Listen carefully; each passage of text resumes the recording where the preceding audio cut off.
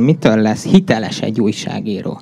tiszteletre méltó, hogy mindig megkérdezel minket. De bocsánat, én kérek elnézést, de ezek a jelzők ma már teljesen erodálódtak, a vicc kategóriájába süppettek. Egy a fontos, hogy legyünk becsületesek, és ne akarjuk átverni az olvasónkat. Egyébként a mai világban ez nem is lehetséges. De persze elhisszük, hogy független objektívok vagytok, de akkor meg nem kell túlmagyarázni, mi a deákféle eredeti egymondatos sajtótörvényben hiszünk, hazudni tilos. De nem ragaszkodunk a hülyeségünkhöz. Én nagyon hiszek abban, hogy igazat kell írni.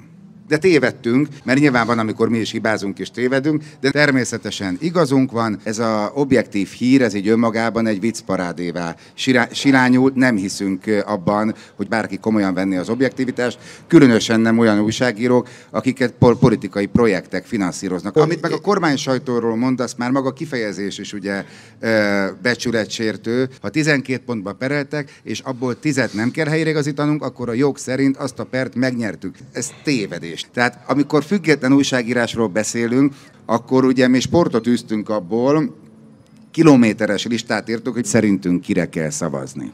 Ez is egy értékrend.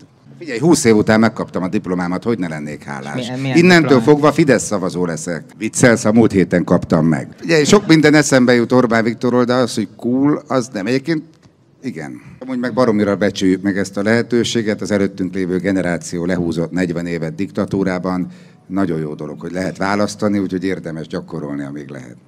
Tehát igenis teljesen reális a veszély, ha Orbán Viktor nyeri a választás 22-be, akkor lehet, hogy az lesz az utolsó szabad választás. Nagyon szívszorító ez a történet. Kaphatok egy zsebkendőt? De azt hogy kérdezzed meg, de tök őszintén, hogy nem értem a kesmával mi a probléma, hogyha etikus vagy nem etikus, nem értek egyet, és a kérdés is egy hazugságon alapul, és nagyon sokszor megdöltetek, megírtuk. A bíróságon nagyon-nagyon nem nekünk lejt a pálya. Csak mondok egy példát, teljesen tipikus, azt a hamis látszatot keltettük, hogy a koronavírus Soros György találta ki. Egyetértek, és tudjuk kik miatt, nem értek egyet, de nem azért. Természetesen igazunk van, és ezekünk egy örök vitánk, hogy ez hogy fordulhat elő. Természetesen, aki dolgozik, néha hibázik is, de egyébként néz a szemembe, és mondd azt őszintén, szerintetek Magyarországon diktatúra van? Hát engedd már meg nekünk, hogy hangosan röhögjünk rajta. Ezt nem értettem soha bennetek, hogy miért nem vállaljátok azt, amik vagytok pontosan tudjuk, hogy fullba toljátok azt az ideológiát, amely a demokráciának a klasszikus értékrendjét elutasító ideológia. Ennek a nemzetközi értékrendnek ti minden hírét címlapra teszitek.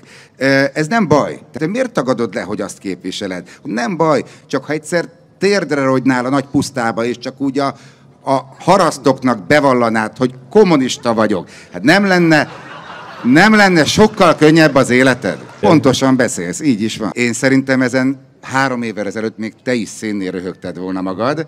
Milyen sértődöttség? Mi nem vagyunk megsértődve, én a média viszonyokat teljesen kiegyenlítettnek tartom. Nagy ritka kincs az ilyesmi a világban, és nem véletlen az, hogy például a Pesti TV szlogenje a normalitás lázadása lett. Tehát igen, ha így kérdezed, ez nem sértettség, de ez egy valódi lázadás és valódi ellenzékiség a mainstream szemben. Én nagyon hiszek abban, hogy igazat kell írni. De tévedtünk, a nép az hülye, és mi tudjuk azt, hogy mi kell a társadalomnak. Majd meglátjuk, de majd meglátjuk, adjuk meg az esélyt. Én nem vitatom el tőled azt, hogy amit írsz, azt komolyan gondolod.